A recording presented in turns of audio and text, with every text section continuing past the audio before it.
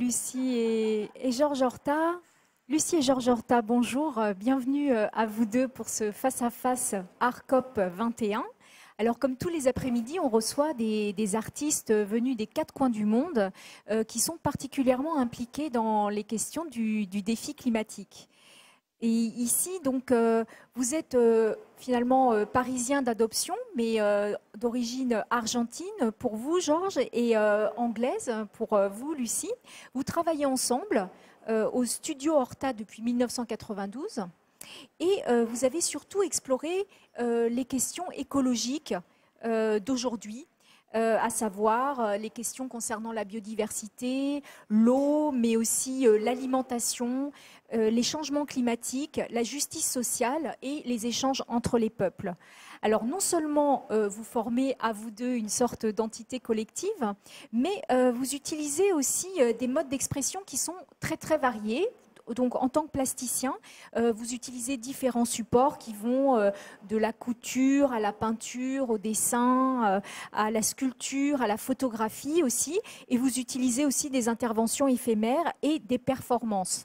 Donc, à travers le monde, vos œuvres ont déjà fait l'objet de nombreuses expositions monographiques, mais également des publications et des acquisitions publiques et privées.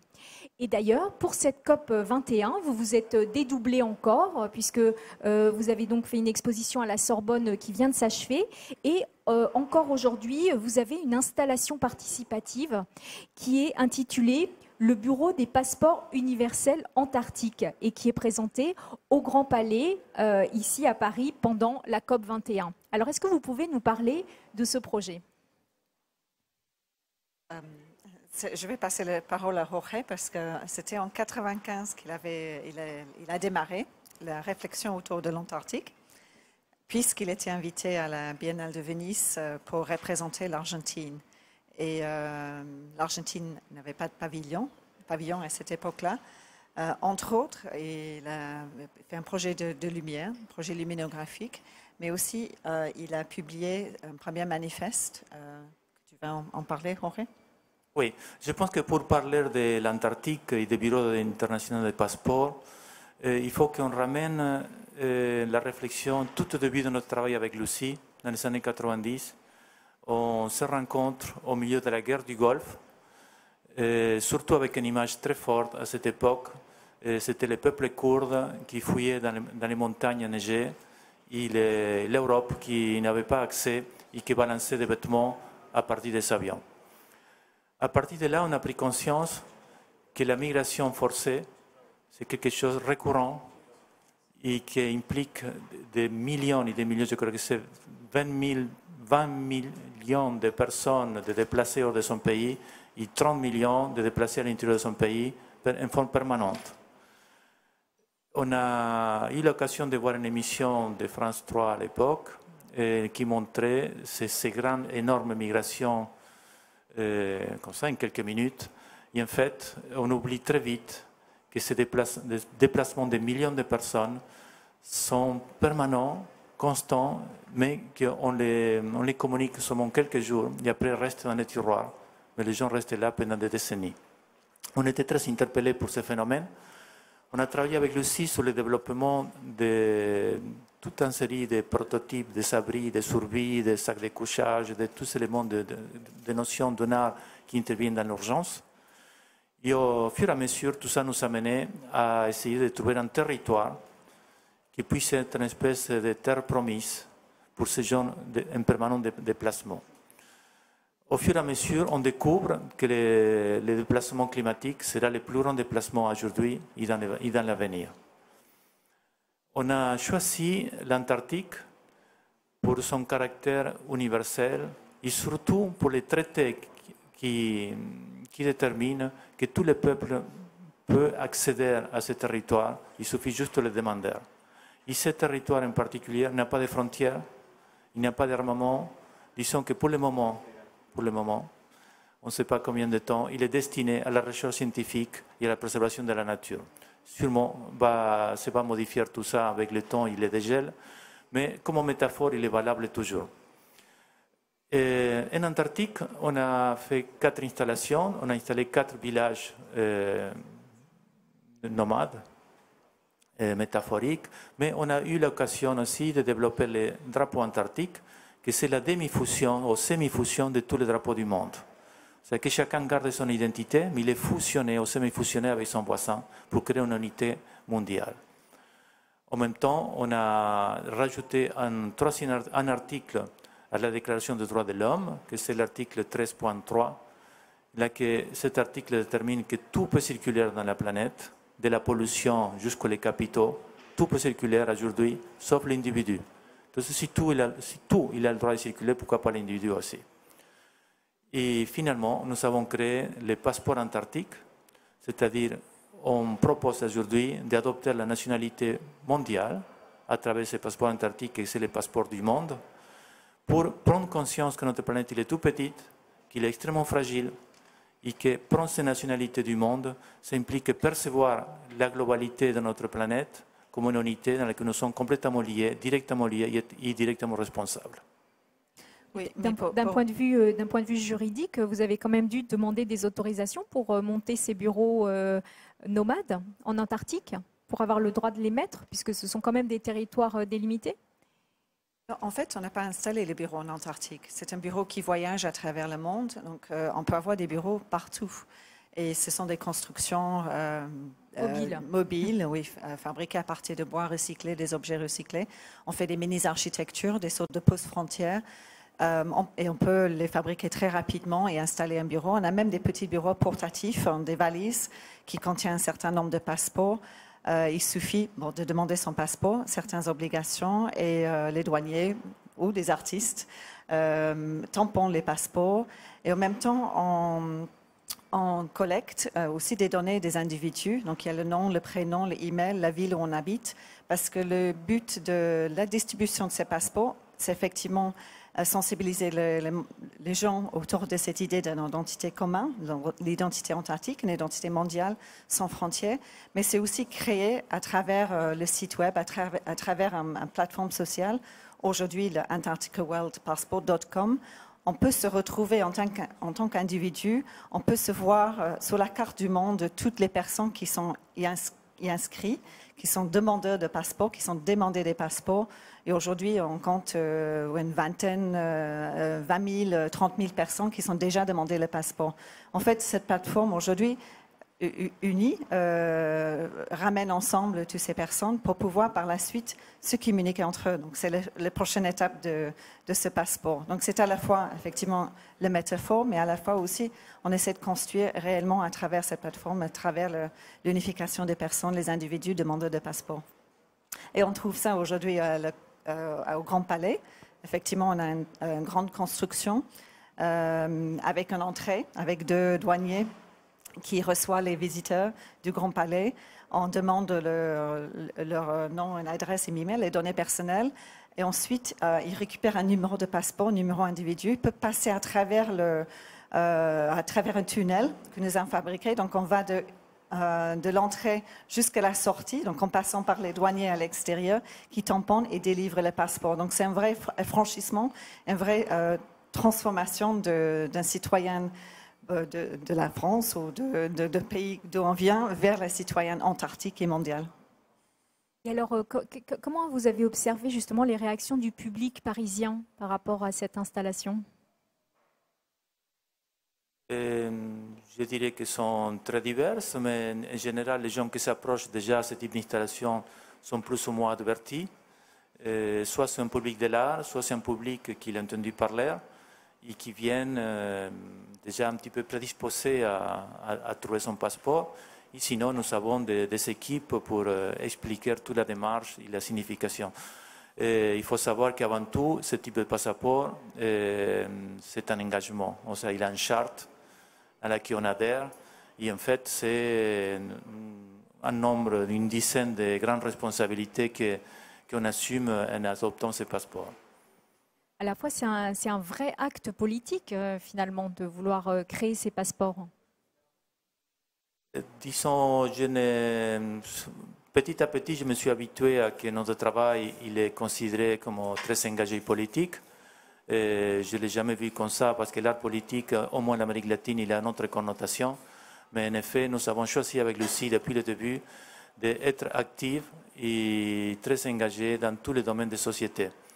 C'est-à-dire, depuis le départ, c'est un, point de vue très personnel que nous avons adopté. Nous ne faisons pas l'art pour l'art. Nous ne faisons l'art justement pour notre propre plaisir, jamais. On fait de l'art parce qu'on croit que l'art, c'est un catalyseur de société. On croit vraiment, mais on le pense vraiment, de que l'art, il a la capacité vraiment d'une transformation d'un processus de société. Si nous, on n'était pas vraiment convaincus de ça, je vous assure qu'un jury, on ne ferait pas de l'art. Mais je pense qu'aussi, en, les œuvres comme le passeport sont aussi des médiateurs. Donc, on, on, fait en sorte qu'on puisse passer la parole à l'autre. Donc, le passeport sert justement à s'engager, mais aussi aller au-delà de ça en tant que citoyenne à, travers certains autres outils qu'on peut mettre en place par la suite. Est-ce que vous pensez que justement, euh, comme vous pointez euh, certains problèmes euh, liés notamment au réchauffement de la planète, en tant qu'artiste, vous pouvez même être considéré comme des sortes de lanceurs d'alerte? On y croit vraiment et je pense que modestement, évidemment, ce n'est pas à nous de faire tous les changements, mais on croit beaucoup à tout l'effet des chaînes, c'est-à-dire qu'un passeport, il amène une obligation de transmettre ça à 12 générations. C'est-à-dire on croit à ce réseau qui s'est créé de prise de conscience progressive. Et, de ce point de vue, je pense que nous sommes vraiment des acteurs, ou au moins on le souhaite de le devenir, des acteurs vraiment des changements de la vie quotidienne. Et c'est pour ça que la plupart de tous nos projets sont complètement reliés à l'actualité une autre œuvre qui était liée donc euh, à, ces déplacements euh, dans l'urgence. Euh, vous avez mis au point des dispositifs qui sont à mi-chemin entre des vêtements, des vêtements portatifs et une architecture. Oui, effectivement. J'ai démarré ces recherches dans les années 90. J'avais fait une formation de stylisme au départ, donc c'était mes outils de base, la conception de vêtements. Et en rencontrant Jorge en 91-92, euh, j'ai commencé à, utiliser certaines de ces méthodologies que j'avais développées en tant que créatrice de mode, designer de mode, pour pouvoir développer des vêtements qui se transforment, euh, qui deviennent autre chose. En l'occurrence, l'architecture en forme de tente ou de bivouac, euh, des dômes, des sleeping bags, sacs de couchage, etc. Et euh, on, voyait justement, comme Jorge avait dit tout à l'heure, c'était les, euh, appels euh, des organismes humanitaires à l'époque de la guerre du Golfe, la première guerre du Golfe en 92, que les personnes nécessitaient effectivement des médicaments, mais aussi des vêtements chauds et des bâches plastiques. C'était les choses qu'on demandait à l'Europe d'envoyer en urgence pour ces peuples en déplacement. Donc les réponses que, que j'avais apportées à cette époque-là, c'était les deux, le, le, bâche plastique en quelque sorte et le vêtement euh, qui portait du chaleur. Donc ces vêtements se transformaient aussi bien en abri parce qu'on pouvait, euh, le tente pouvait se transformer en dôme, en poncho, etc. Donc c'était ces multiples fonctions et les nécessités de se déplacer très rapidement. Et très vite, on a vu aussi les conséquences de ces guerres, les conséquences économiques et sociales en Europe.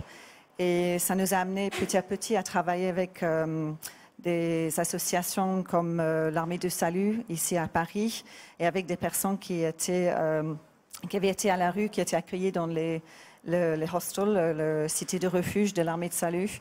Et on a pu explorer d'autres fonctions de ces vêtements d'urgence aussi pour les, personnes en difficulté en Europe, en France. Et ces recherches ont continué de nombreuses années, effectivement. C'est-à-dire, ils ont été utilisés euh, réellement euh, ensuite euh, C'était que des prototypes. Oui, nous avons, on a privilégié l'aspect de recherche et de prototypage parce qu'on n'a pas les formations de, production. C'est-à-dire qu'on peut fabriquer le prototype, on peut dessiner les dessins, le prototype, mais aller au-delà d'une production, c'est beaucoup plus compliqué. Ça, il faut des outils industriels pour ça. Je le connaissais bien, venu de métier de designer. Ah, c'est surtout euh, que nous sommes des artistes et que ce n'était pas notre rôle rentrer dans la production industrielle, c'était justement lancer un signal par rapport à un prototype qui évoque un problème de société, mais ce n'est pas forcément une réponse adéquate ni la solution. C'est étonnant puisqu'on imagine que votre démarche au départ, c'est de faire euh, euh, toucher du doigt, enfin d'avoir une perception très sensorielle pour des gens qui n'ont pas à subir ce genre d'urgence, de leur faire comprendre euh, ce que ça signifie. Et finalement, euh, ce sont les, vraies personnes touchées qui, finissent par être intéressées par votre projet. C'est étonnant. C'est-à-dire que euh, oui, en, travaillant avec les, les personnes de, de Cité des Refuges, les individus, ils ont- ils m'ont expliqué comme ça aurait pu être utile ce genre de, vêtements refuge, puisqu'ils subissent des conditions très extrêmes en vivant dans la rue. Mais bon, comme disait Jorge, on n'en avait pas les outils euh, industriels pour pouvoir les fabriquer et c'était surtout dans la but de recherche. Donc c'était aller à leur rencontre de pousser ces réflexions plus loin. Aujourd'hui, semble une banalité, mais à l'époque des années 90, euh, c'était c'était très fort. Voir euh, les premières personnes qui dormaient dehors, dans la rue, dans l'espace public, en hiver, c'était très réduit, mais très violent comme image. Aujourd'hui, malheureusement, quelques années après, quelques décennies après, c'est devenu une banalité, à tel point qu'il est presque, presque inaperçu. Oui, c'était très choquant à l'époque d'imaginer les personnes que pourraient vivre dans des tentes dans les rues. Mais effectivement, c'est devenu euh, euh, très visible et on les voit dans tous les coins de la rue. Et les associations aujourd'hui distribuent les tentes effectivement pour les des personnes sans abri. Euh, Georges, vous êtes argentin et Lucie, vous êtes anglaise. J'ai une petite question indiscrète tout de même pour savoir euh, dans quel point du monde euh, vous vous êtes rencontrés et à quelle occasion? C'est une petite blague, mais je ne sais pas si c'est... Allez-y, allez-y.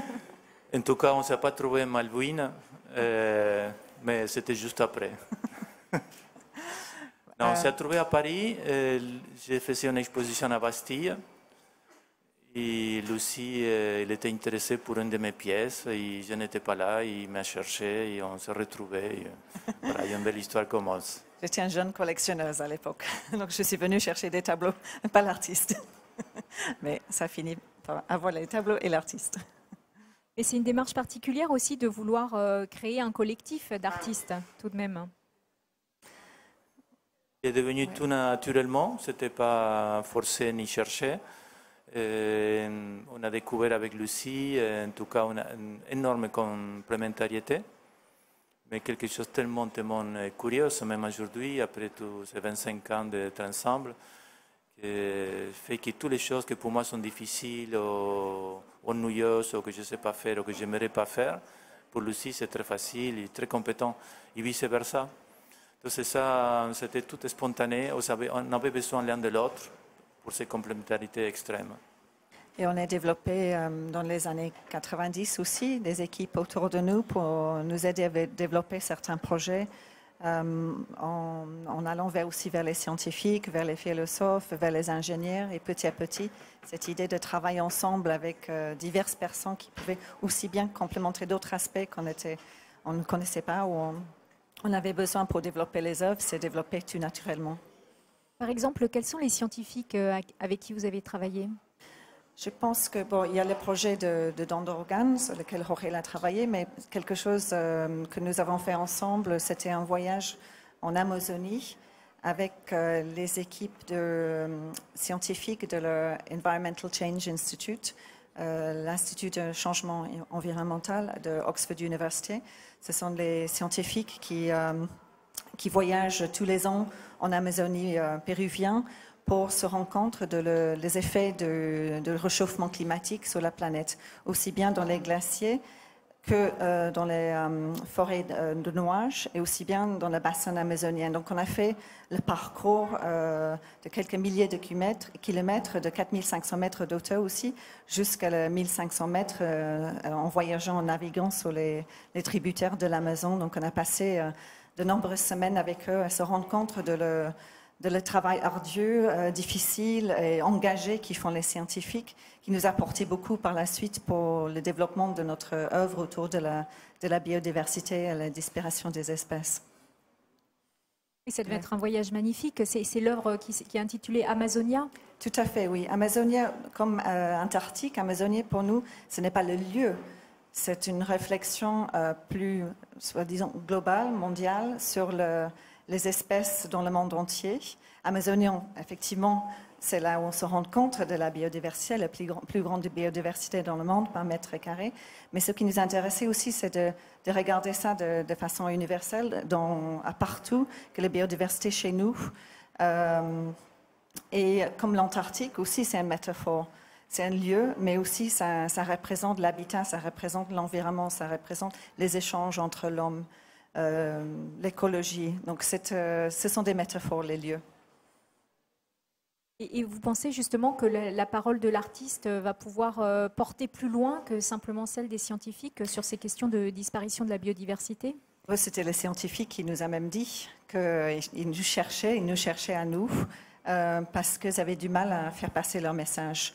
Euh, Jorge il aura quelques anecdotes à, raconter autour de le don d'or- d'organes, mais euh, ils arrivaient à un point qu'ils ne savaient plus quoi faire, de, comment on peut passer des messages encore plus forts, encore plus émotionnels, encore plus visuels, euh, envers différents publics. Je pense que c'est aussi euh, notre rôle en tant qu'artiste. On a ces outils-là créatifs aussi, et bien de le, comme on utilise de vidéos ou du son, de photographie, des dessins, des tableaux, des installations, des performances. On a beaucoup de moyens à faire euh, parler euh, de, des problématiques. Oui, c'est ça. Donc, vous avez euh, un projet qui était particulièrement étonnant, qui était intitulé Gift, où vous vous êtes intéressé à la question du don d'organes, ce qui est quand même justement qui pose des questions à la fois éthiques, de technique médicale également, mais qui nous rappelle la façon dont tous les êtres humains sont fabriqués du même matériau.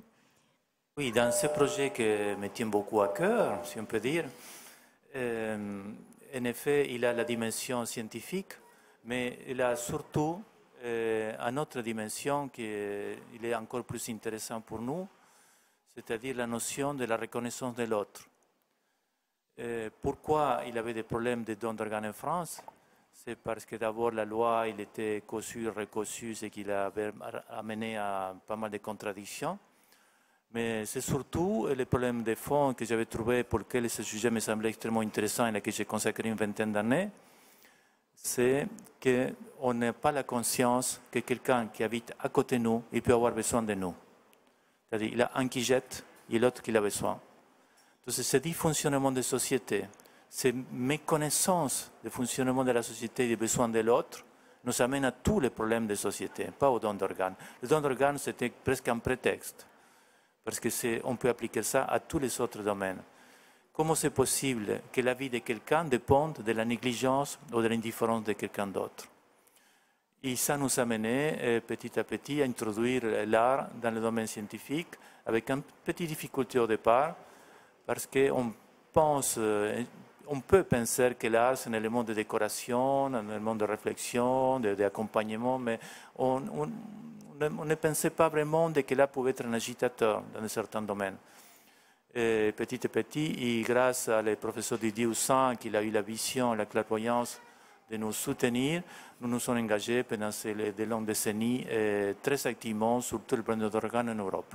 Mais je répète encore une fois, ce ne s'agit pas d'un problème d'exclusion médicale, sinon de comment l'art il peut être un catalyseur de certains phénomènes de société et apporter des réponses concrètes. On a eu l'occasion, on s'est posé toujours la, question si ça c'était qu'une idée, une hypothèse, si, ce n'était pas qu'un rêve, si vraiment l'art pouvait apporter quelque chose. Moi, ça fait 40 ans que je bataille avec cette idée. Et des fois, ce n'est pas toujours évident d'avoir des, des- des preuves de que notre travail, notre effort, il a un sens. Euh, mais en l'année 1993, pendant les Jeux, les Jeux mondiaux de transplantés à Nancy, là que nous avons beaucoup travaillé, et nous avons fait un travail très intensif avec euh, 33 000 collégiens de la région de Moselle, Meurthe-Moselle. Et pratiquement avec ses parents, ses grands-parents, et voisins, 200 000 personnes impliquées directement pendant un an et demi avec nous. Et ensuite les jeux de transplantés, etc. Il a eu un audit. Et pour la première fois, nous avons eu la, la vérification qu'on avait réussi collectivement, pas, pas uniquement notre travail, sinon avec toutes les démarches qu'on a menées collectivement autour de ce jeu de transplantés, avec une modification des comportements de 32%. C'est un audit extérieur. Donc là, pour la première fois, on a pu mesurer un changement de comportement. Et on pense que l'art, visible ou invisible, doit quelque part amener à ce type de changement. Alors, un, autre exemple, euh, vous avez travaillé sur euh, cet aveuglement euh, de- des besoins des voisins et sur le gaspillage des autres, c'est les comportements alimentaires. Oui, c'est démarré environ dans les, oui, des milieux des années 90 aussi. C'était surtout, on, a réagi quand il y avait le grand diversement de- des aliments des agriculteurs, des, produits des agriculteurs, le récolte euh, annuel sur les autoroutes en France. Je pense que c'était les années 96, l'été 96. Et euh, face à ces montagnes de tomates, de pêche, euh, de fruits, de tous leurs produits, de toute leur euh, ardure de, de l'année de travail, on se sentait impuissant. Euh, comment, qu'est-ce qu'on peut faire? Parce qu'on sait qu'il y a tellement de faim dans le monde. Euh, et on a décidé, euh, avec nos moyens qu'on avait à l'époque, d'aller sur les marchés quotidiennement pendant un an à, glaner, chercher les produits qui étaient aussi délaissés par les, marchands sur les marchés parisiens, donc tous les fruits et légumes qui étaient jetés par terre. Donc on a ramassé ces fruits et légumes et chaque semaine on les a transformés et on a fait des petits bocaux comme des sortes de reliquaires euh, de conserver euh, ces produits. Euh, et par la suite, on a eu l'occasion de faire une exposition à la Galerie Saint-Eustache dans l'ancien quartier Les Halles et pouvoir présenter ces aliments que nous avons récoltés, glanés pendant ces années, mais aussi travailler avec pour la première fois un chef euh, stower euh, pour pouvoir transformer en direct les produits qu'on avait récupérés la semaine avant, euh, les fruits et légumes, pour pouvoir distribuer au public. C'était cette époque-là, c'est ce moment-là qu'on on s'est rendu compte que la nourriture était un, élément important de dialogue. Et surtout, c'était la nourriture euh, gaspillée, c'était la nourriture délaissée par, l'autre sur la rue. Donc, on a démarré cette réflexion sur le gaspillage et sur la possibilité de réutiliser ces, aliments. Et euh, c'était le début de toutes ces réflexions, de le- aussi les produits gaspillés dans les, les supermarchés aujourd'hui, les produits fin de vie, etc. La plupart de nos projets, ça, Lucie raconte les, les débuts de ces projets food, euh, mais sont des projets étalés sur euh, 15 ans, 20 ans. Ce sont des longs processus. Des longs processus parce qu'on pense qu'aborder des sujets comme la santé, le rapport humain des sociétés, la nourriture ou, ou- ou des autres problèmes assez importants des sociétés comme le déplacement ou autres, il ne peut pas s'aborder en une seule exposition, en un seul geste, en, un dessin ou en peinture. On pense que ce sont des processus qui doivent impliquer beaucoup, beaucoup de monde et que c'est dans le temps, dans la durée, que les choses commencent à prendre. Euh, et surtout dans cette interrelation de la communauté avec des scientifiques, avec des philosophes, avec tout- toutes sortes de populations qu'on essaie d'impliquer. Et c'est dans les processus qu'on croit surtout. Entonces, ce, ce début de marché, ça finit après avec une grande interrogation sur tous les problèmes de la nourriture à travers le monde, sur la diversité, sur la préservation des espèces alimentaires, sur des espèces de performances rituelles des grands repas publics qui sont des tables de convergence dans lesquelles on évoque différents sujets collectivement. Il faut penser ces projets food comme ce long processus de réflexion autour des enjeux de, de la nourriture. Oui, ce n'est pas qu'une exposition ou une performance, c'est tout un enchaînement de- d'éléments de, de notre pratique et des associations avec les gens qui fait que l'œuvre euh, commence à vivre euh, 20 ans après. Et c'est ça, vous faites une analyse euh, aussi euh, anthropologique finalement du, du repas partagé.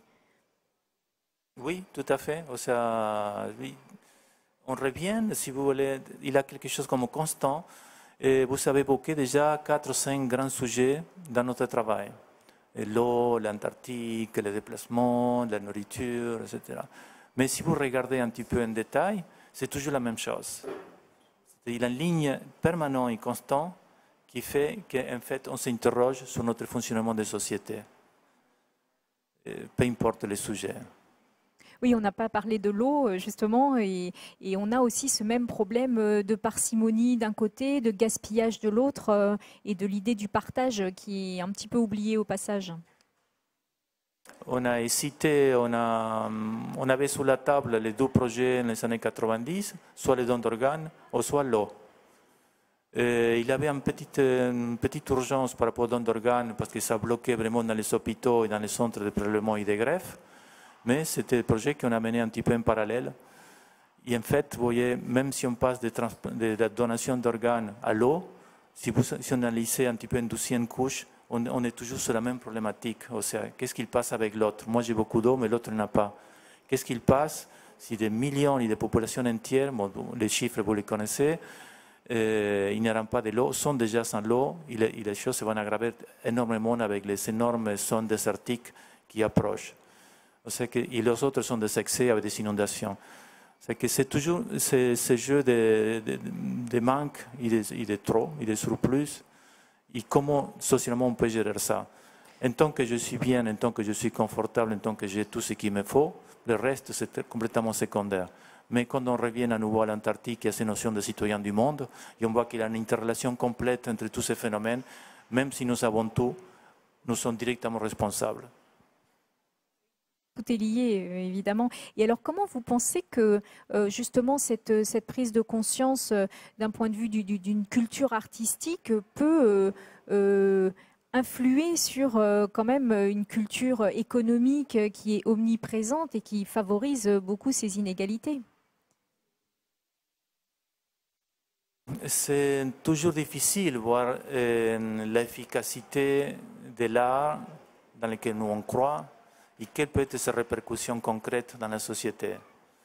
Nous ne refusons, pas les dimensions esthétiques de l'œuvre dans laquelle nous sommes très engagés aussi en tant que plasticiens, mais nous croyons beaucoup dans ces processus invisibles, dans ces démarches longues, pour ça beaucoup de temps dans chaque projet, qui ne peut pas toujours apercevoir le résultat, mais que nous sommes convaincus avec des indices de que quelque chose est en train de se passer pas parce que l'artiste c'est lui qui l'a fait, sinon parce qu'il a engendré un processus autonome qui génère un cycle, comme, les sondes dans l'eau, et que ça, on ne sait pas jusqu'où ça peut aller. Mais nous, on croit vraiment que ces sondes existent et qu'ils se propagent. Effectivement, quand on réunit 500 personnes autour d'une table, ça touche individuellement ces cinq personnes. Mais ça pas seulement ça, c'est des milliers de personnes qui sont réunies à pouvoir créer ces événements pendant l'année précédente le, grand banquet, qu'on voit que c'est l'élément visible de, l'œuvre. Mais il ne faut pas oublier qu'il y a tous ces processus derrière toutes les personnes en train de travailler. Et on voit les résultats, effectivement, le jour de grand soleil, tout le monde mange ensemble, toujours souriant. Mais on sait que les répercussions de ça sont beaucoup plus profondes. Mais vous pensez que ça va suffire euh, tout de même pour euh, euh, arrêter d'avoir en permanence cette vision comptable du monde? Non, l'art, il ne peut pas suffire. L'art, il peut pas suffire. Mais 1 plus 1, on disait déjà, ça fait 25 ans avec Lucie dans nos performances, 1 plus 1, ça fait des millions. On croit plutôt à cette addition permanente et constante. Oui, on croit beaucoup dans la mobilisation de l'individu vers le collectif. Un individu Je pense que chaque passeport qu'on distribue ne va, va pas régler le monde, mais si on arrive à transmettre un tout petit peu quelque chose à nos enfants à travers ces passeports, avec ces notions de responsabilité planétaire, peut-être on est en train de mettre des petites graines qui un jour donneront quelques fruits.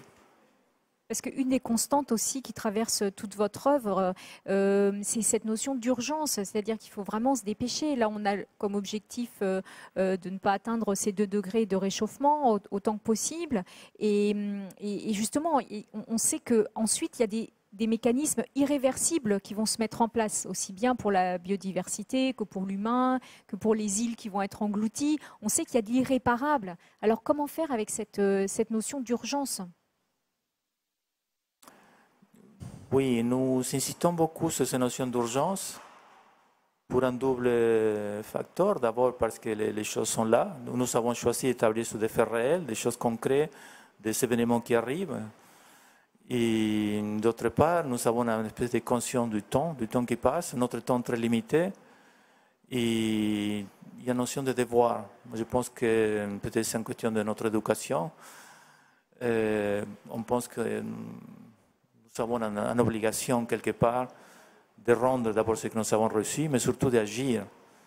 Et, on ne peut pas, dans la vitesse qui va le monde aujourd'hui, on ne peut pas passer beaucoup de temps à réfléchir et voir si après, peut-être, on va voir si les conditions sont données. L'urgence veut dire tout de suite, presque sans réfléchir, tout de suite, dans quelque chose, s'engager et essayer de trouver le maximum d'adhésion, de, collaborateurs, de, de complicité, pour que ne soit jamais le travail d'un artiste, sinon le travail d'un collectif qui génère ce processus. Vous avez déjà eu l'occasion de, constater les, réactions euh, positives du public euh, qui, vraiment euh, modifiait son comportement après avoir vécu, j'ai envie de dire, avec vos œuvres? Oui, tout à fait. Oui, oui. On a, des lettres qui nous sont envoyées. Il y a des, oui, des collectes des informations, des organismes, des musées ou des commissaires, des associations avec qui on travaille. Effectivement, c'est des, des paroles de l'individu qui sont touchées. Euh, oui, c'est très, euh, c'est magnifique. Oui, effectivement. Oui, mais Oui. c'est toujours difficile. C'est très difficile à quantifier, à vérifier, c'est à savoir. Euh, on a quelques échos, quelques retombées, mais ce n'est pas, c'est pas suffisant. On n'est pas dans la méthodologie scientifique que j'ai toujours cherché et que j'ai toujours aimé, des, des hypothèses, expérimentations et vérifications. Dans l'art, on n'a pas dans ces notions de vérification que nous, on essaye d'introduire, même euh, à des, petites gouttes. Mais j'ai eu une anecdote qui a été très forte dans ma vie. Euh, pendant de très longues années, mon travail en Argentine, pendant des années de dictature, euh, dans lesquelles je me suis engagé très fortement à tous les niveaux, à travers de l'art, toujours, et uniquement à travers de l'art, je, ne savais pas si ça pouvait produire quelque chose. Dans des moments extrêmement difficiles, quel rôle il peut jouer l'art quand la vie et la mort se mêlent tellement Et t- très souvent, hum, avec les reproches ou les remarques de tout mon entourage, des, des espèces d'une attitude un petit peu hum, folle, ou inutile, ou stupide vis-à-vis de la réalité, et on se posait des questions, est-ce que vraiment l'art peut apporter quelque chose? Et une fois qu'on a renoncé à tout, à les professions, à le bien-être et à tout ça pour, pour s'engager dans cette voie, pourquoi le faire? Pourquoi continuer à le faire si on ne voit rien, on ne voit aucun résultat, au moins à, court terme Et je ne dirais pas dans le désespoir, mais en plein, en plein questionnement depuis toutes ces années de travail avant d'arriver en France. J'avais une réception au musée parce que j'avais gagné un prix, etc. Et j'étais déjà avec un pied, un pied dans le départ. Et il a eu un, repas. Et quelqu'un dans, la- table, à, trois postes euh, de, de mien, il parlait. Il parlait des choses de la vie, mais surtout de comment, à un certain moment, il a des événements très forts dans la vie de quelqu'un qui change et que la vie devienne en avant et en après. Ça peut être la mort de quelqu'un, d'un fils, ou un grand événement, un grand choc ou une grande maladie qui fait qu'on ne voit plus la vie après comme, on comme c'était avant. Et quand il parlait de tout ça, en fait, euh, petit à petit, je me suis approché. Il parlait d'une œuvre que j'avais réalisée à Rosario, en Argentine, et que pour lui, pour ce monsieur, il avait, complète- il avait changé radicalement sa vie avec un avant et un après. Donc c'est- rare ce type de, perception ou ce type de rencontre parce que le public, normalement, nous n'avons pas beaucoup l'occasion parce que le public est distant, il est partout dans le monde et on ne peut pas avoir de retombées. Mais nous, continuons à croire très fortement que si on met des graines partout, partout, partout, les quelques graines quelque part, vont pousser. Oui, mais ça s'est arrivé aussi euh, euh, avec le repas que nous avons fait à Peterborough, avec ces 500 personnes réunies de la table. Il y avait effectivement les personnes qui nous ont écrit après en disant que ça a changé ma vie. Vous n'avez pas changé ma, vie, mais vous avez changé la ville, parce que la ville est devenue une nouvelle ville depuis qu'on est venu. Et euh, après ça, le, le repas, le week-end qui était euh, euh, généré autour de ce repas, a gagné un prix pour le festival de moisson de l'année. Et pas seulement ça, la ville, elle a gagné aussi le prix de la ville le plus innovante en Angleterre. Et c'était justement une ville qui a été choisie par l'organisme pour pouvoir faire le repas parce que c'était un- une des villes en Angleterre qui est la moins engagée culturellement, dans le, le plus bas de 20% des villes les moins engagées culturellement en Angleterre. Donc le repas, il a vraiment effectivement engendré beaucoup plus que l'individu, mais c'était aussi une transformation de la ville. Et ça, c'est nous a venu après. Mais effectivement, c'est très difficile à, à récolter toutes les histoires, mais on, on sait qu'il y en a plein chaque fois. C'était en quelle année ce banquet euh? C'était en septembre, le, 20, le 19 septembre cette année. oui. D'accord. Et les thématiques, euh, que- quelles étaient les thématiques abordées? Euh, C'était la rencontre, euh, parce que la ville à Peterborough, c'est le ville, on appelle ça le bread basket, donc c'est le, le ville agricole d'excellence en, en Angleterre. C'est là où il est produit le blé et aussi d'autres récoltes céréales. Donc c'est une ville importante d'agriculture dont aujourd'hui viennent beaucoup de, personnes euh, immigrées, migrants, qui viennent travailler. Donc c'est une ville qui était euh, euh, fracturisée par différentes euh, communautés. Et l'idée, c'était réunir ces personnes autour d'un banquet. Mais pas seulement ça, c'est de, planter des graines dans les petites associations créatives ou culturelles qu'il y avait qui n'étaient pas encore réunies. Donc, c'était à travailler avec euh, chaque individu, travailler avec chaque association pour pouvoir l'amener vers un, but commun. C'était de créer un week-end où on, euh, se rencontre autour du repas. on a fait aussi la fabrication du pain euh, donc les 500 pains étaient euh, euh, baked, comme on dit, cuisinés pour le repas par chaque individu qui les a apportés. Et on a amené plein d'autres éléments pour que le, repas se fait de façon très joyeuse et dans le, but de la rencontre, mais aussi de travailler aussi sur la réflexion de ce qu'on mange et d'où ça vient, parce qu'on ne sait pas forcément. on était dans la ville d'agriculture d'excellence, mais les gens autour de la table ne savaient pas forcément que tout ça s'était produit autour d'eux. Et bon, ça revient sur les questions de, la nourriture, la perte de conscience euh, de, les choses autour de nous.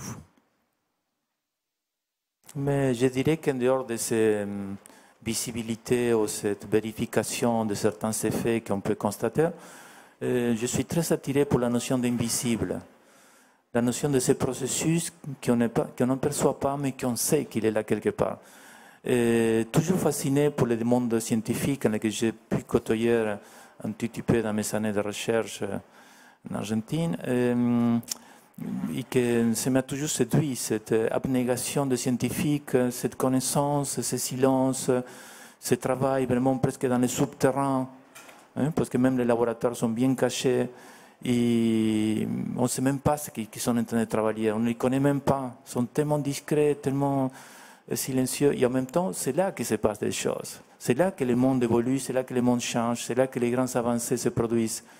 Au milieu de la nuit, parce qu'il faut aller à 4 heures du matin en hiver, parce qu'un processus de machine il est fini, il faut le réactiver, etc. Et je crois beaucoup à ça. J'aimerais ce type d'art, pas très sensationnel, pas très sensationnaliste, pas trop effectiste, mais qui crée vraiment ce travail de fond dans l'atelier, dans les processus de communauté, mais peu importe la visibilité, l'important c'est que les choses existent et se fassent.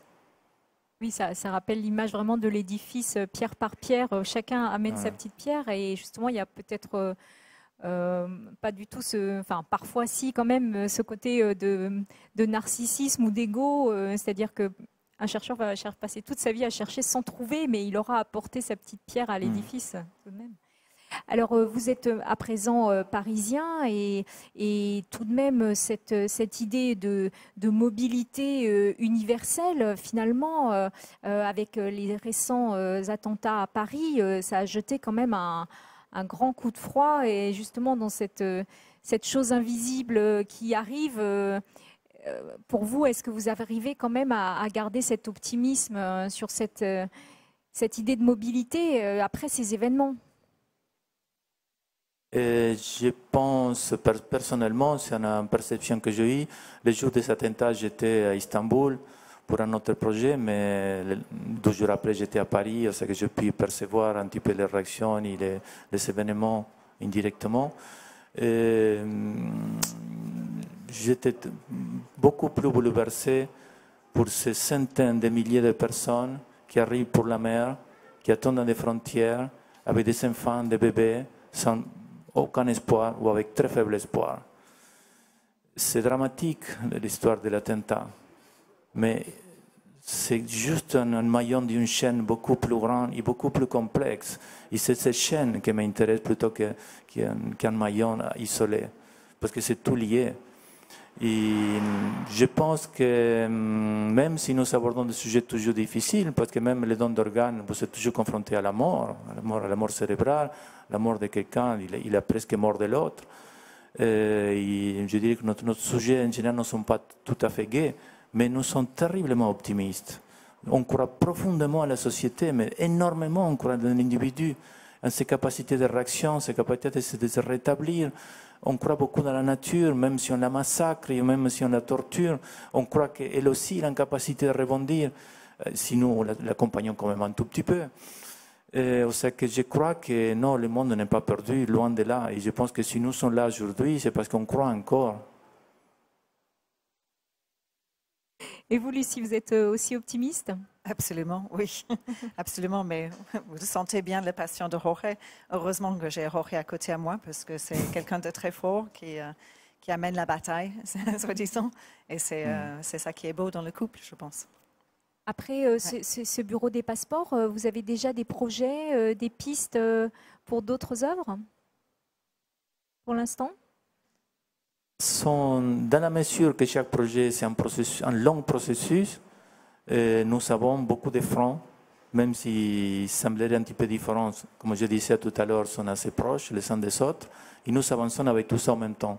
Ce que nous avons encore avec les bureaux, l'Antarctique, l'Amazonie, la biodiversité, le problème alimentaire, le problème climatique et les problèmes sociaux, nous avons encore pour pas mal de temps de travail. Euh, de nouveaux projets ou de nouveaux matices, de nouveaux, angles d'attaque euh, s'abordent.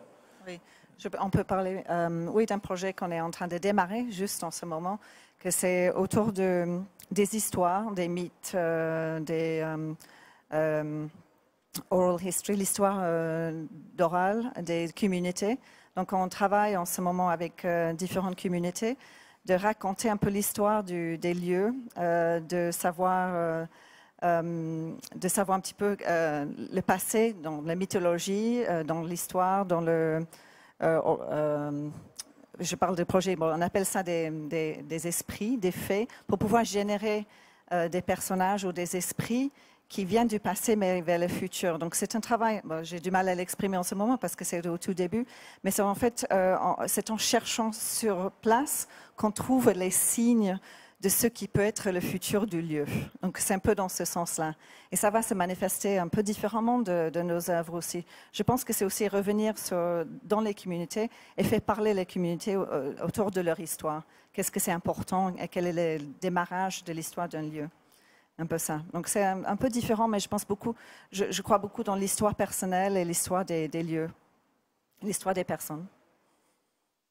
Là, ce sera un travail plus de revenir sur les légendes et sur l'origine de l'imaginaire de, chacune des cultures. Exactement, oui, c'est ça, oui. Donc c'est, euh, on va amener ça en parallèle à tous ces autres projets, mais je pense que euh, on travaille beaucoup avec les communautés et sont souvent beaucoup à dire euh, à- à- sur, le- sur le passé, sur, sur, euh, sur, le, bah, sur la présence des esprits qui les, qui les informent aussi dans la vie quotidienne.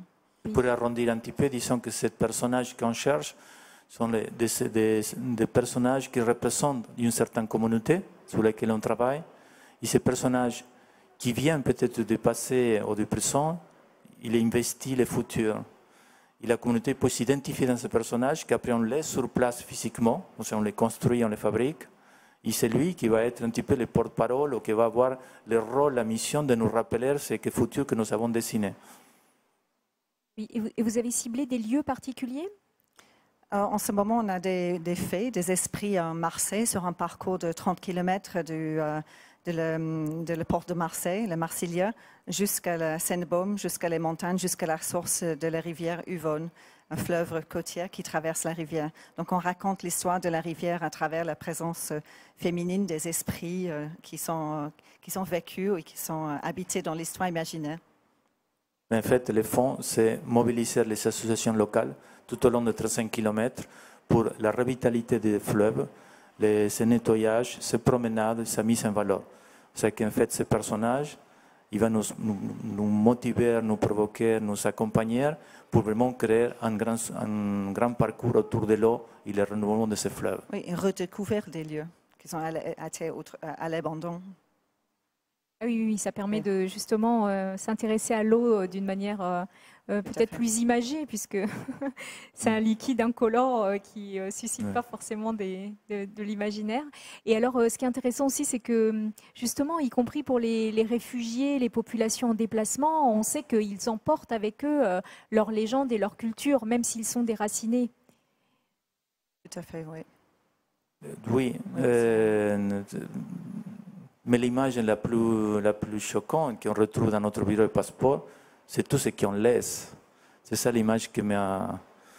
euh, il a comme un dépouillement permanent. Si vous regardez les images de départ, sont chargées la tête, les pieds, tous les enfants, on porte tout ce qu'on peut.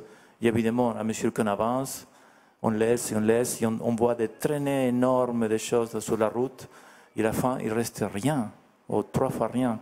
Et quand on débarque dans nos frontières européennes, ils laissent les dernières traces, les derniers euh, gilets sauvetage, les derniers objets, parce qu'ils partent sans rien. C'est-à-dire que c'est vraiment une nouvelle vie. C'est un petit peu les passages que parlait Lucie dans le bureau de passeport qu'on essaye de représenter en avant et en après. Et ces passages vers quelque chose euh, qu'on ne sait pas. C'est encore tout un, un, monde à découvrir et à souffrir encore. je pense que c'est pour cette raison-là, les histoires sont importantes. Donc c'est pour revenir de le, projet des esprits et les faits. C'est de l'invisible qu'on porte avec soi, justement, qu'on porte en mm. soi. On a laissé tout le matériel et on garde l'invisible en soi. Je pense qu'on laisse beaucoup de choses, aussi d'invisibles. mais, bon, c'est un sujet bien compliqué et bien douloureux pour, euh, pour l'aborder rapidement. Très bien. Mais écoutez, on va voir euh, s'il y a dans le public euh, peut-être quelques questions. Mm. Vous voulez poser des questions?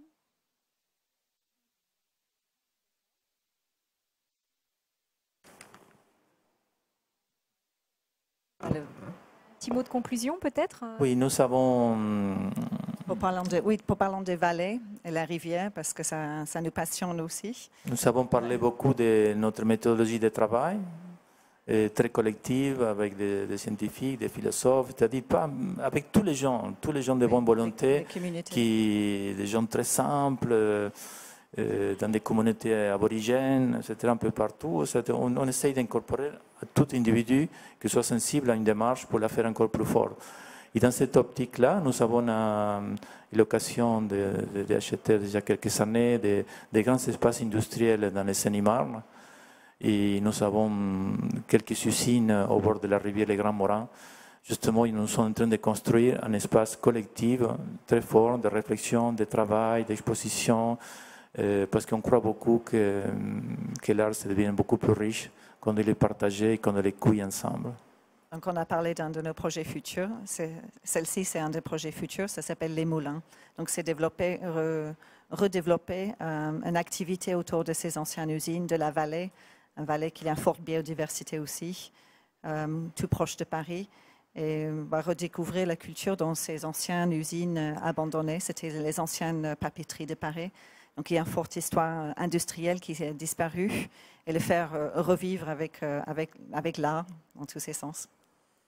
Et c'est ça, vous voulez recevoir des artistes en résidence de ce côté de Marne-la-Vallée? Oui, hein, des artistes en résidence, mais aussi des, des collaborations, des, des expositions, des, C'est-à-dire créer une espèce de, de grosse machine qui, qui, crée, qui pense, qui agisse. Donc euh, le collectif en fait. Mm. bon mais écoutez euh, Lucie et Georges Horta, je vous remercie beaucoup en tout cas pour cet entretien. Ah, une petite question. Bonjour, je n'ai pas osé poser une question parce que je n'ai pas entendu les trois quarts du débat, mais euh, sur la chute, eh, vous n'avez pas l'impression euh, lorsque j'entends euh, vos envies et vos, et, vos, et vos, besoins de créer en France euh, donc cette, ce lieu, de, de, de ce, rempart de pensée, de création pour, je pense, réveiller les consciences. Et lorsqu'on parle de réfugiés, vous n'avez pas l'impression que les, le plus grand dommagement, c'est tous ces créatifs, tous ces penseurs, tous ces gens de grande richesse qui quittent leur pays pour aller construire ailleurs? Je n'ai pas, pas, compris la dernière ah. partie. En fait, euh, vous n'avez pas l'impression que euh, dans le, problème des, réfugiés, puisqu'on parle de ça, hmm. c'est euh, le, départ et l'abandon de, en fait, tous ces créatifs, tous ces grands penseurs, tous ces, savants, tous ces gens qui ont, les moyens et qui ne, peuvent plus justement créer chez eux et vont créer ailleurs, et que toute cette énergie, elle ne serait pas plus utilisée justement dans les pays d'origine Est-ce que votre démarche euh, artistique, c'est justement de faire prendre conscience euh, de ce sujet? Si j'ai bien compris, euh, c'est la fuite des créatifs ou des intellectuels, etc. Oui,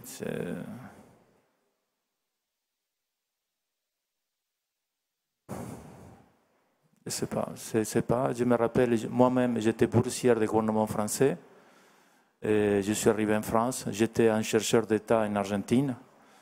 J'ai quitté la recherche en Argentine pour m'installer en France définitivement. Et je me suis posé la question pendant plus de 30 ans, comment rétribuer à l'Argentine et au reste du monde ce que la vie m'avait offert. Et j'utilise aujourd'hui la plateforme de la France, même si nous faisons qu'à peine 10% de toute notre activité parce que c'est à niveau international, en essayant d'irradier à notre niveau. Hum, Je pense que quelqu'un, scientifique, artiste, créatif ou autre, qui a dû fuir son pays pour euh, X ou Y, euh, je pense qu'il garde en soi un, un germe et une conscience. On le voit en tout cas dans des collègues qui sont dans ces situations. Euh, je ne sais pas s'il retourne ou pas dans son pays, si les, si les possibilités sont données, mais en tout cas, un, un état de conscience persiste et je suis sûr qu'il continue à agir, peu importe où il se trouve.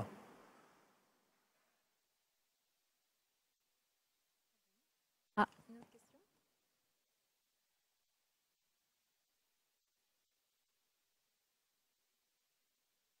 Bonjour.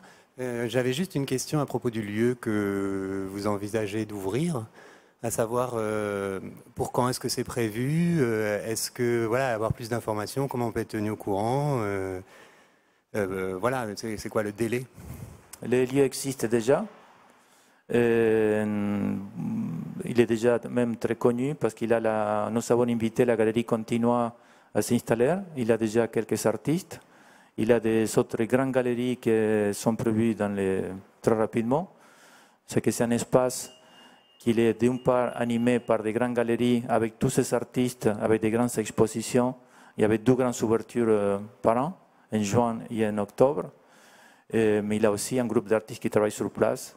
Et c'est autour de, ces artistes et, un petit peu que nous, nous amenons avec les collaborations avec différentes universités, dont surtout l'école d'architecture de Versailles et, et d'autres en Angleterre et en Hollande, etc., pour créer cette espèce de dynamique à travers des workshops, d'espaces de vie, de convivence, de débats, etc. C'est quelque chose qui se construit, c'est un projet très grand, très complexe, euh, que nous amenons avec très peu d'argent, mais surtout avec beaucoup d'enthousiasme et beaucoup de dynamique en train de se créer jour à jour. C'est-à-dire qu'il y a deux parties. Il y a des parties de recherche et de création qui ne sont pas ouvertes au public. Et deux fois, bon, c'est ouvert en fait euh, tous les jours, euh, non, de mercredi à dimanche. Les galeries sont ouvertes au public et deux fois par an, les événements euh, très grand public. Donc vous pouvez aussi aller de Paris en bus ou en train, c'est très facile. D'accord, et on peut trouver euh, les contacts sur votre site ou Euh, ça les- pour les, les ouvertures, parce que nous, on n'est on pas ouvert au public, parce que c'est des ateliers de travail, mais les galeries, euh, c'est galeries continues, effectivement.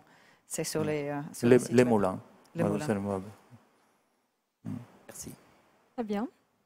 Eh bien, Georges et Lucie Horta, je vous remercie beaucoup en tout cas pour ces entretiens. Merci à bon vous. vous bon courage à vous. Merci beaucoup.